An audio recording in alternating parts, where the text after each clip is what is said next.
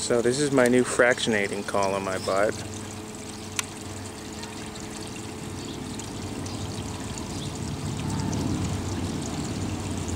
Thought I'd make another video on how to distill with the fractionating column.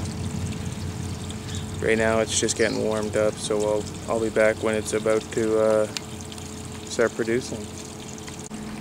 Okay, so now we're up to temperature. Sorry if my voice sounds weird, I'm wearing a respirator. It took a little while for the vapors to get up that fractionating column because it's pretty long. I had to wrap some tin foil around it to make it uh, not lose heat as much.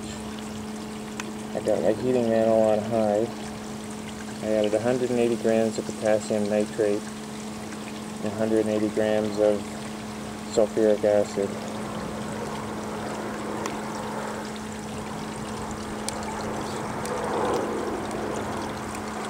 So we'll get a little closer and I'll show you this.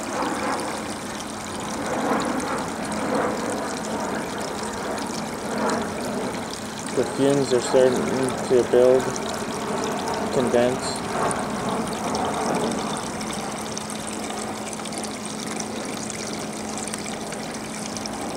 So I'll be back in a little bit. So as you can see here, the NO2 fumes are starting to subside. Pretty soon we'll be getting some nice clean nitric acid. There's the first bit that's a little, uh, it's got some NO2 buildup in it. With this fractionating column, you can see here that most of all the condensing has been done in this column, and it's not even really condensing in the tube.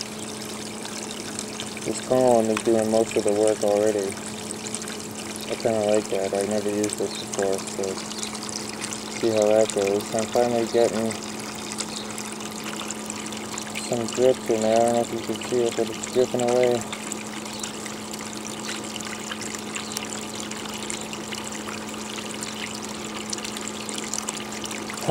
I broke my vacuum adapter, so I had to tape it up with Teflon until I get my new one ordered in. I got it ordered right now, so anyways, we'll be back in a little bit. So you can see the steady drips coming down my condenser there.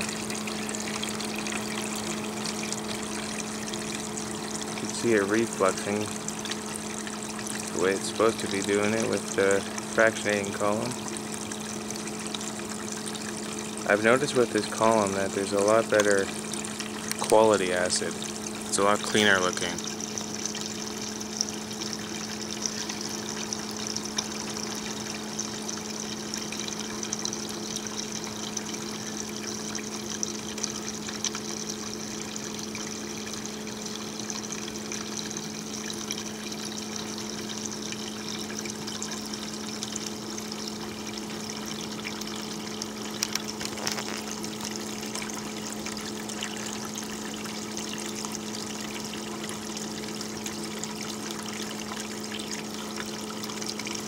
There's my broken vacuum adapter.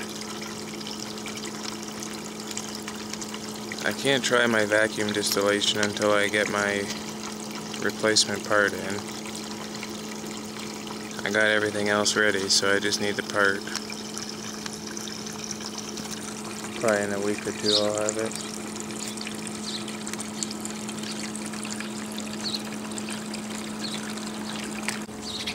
Now you can see the acid starting to change to a clearer color. It's a little more yellow than clear, but it's a lot better than red.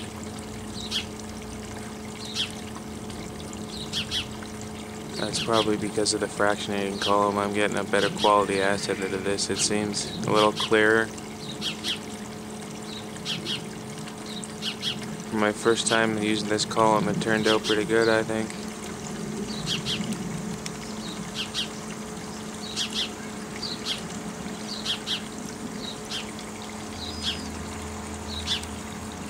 There's the acid I got so far.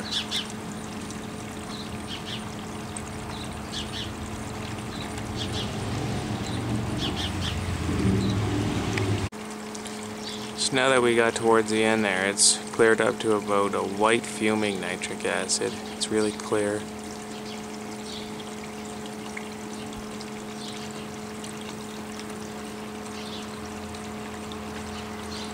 You can see by the color that it's not gonna be white because it's just all mixed into one bottle.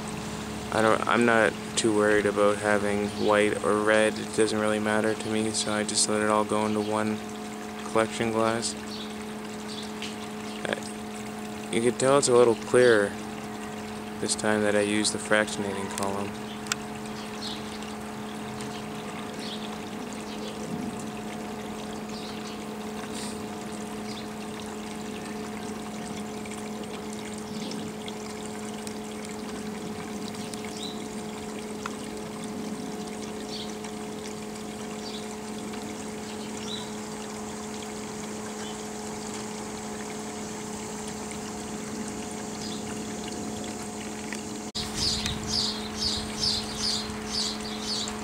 I think I'm basically done now.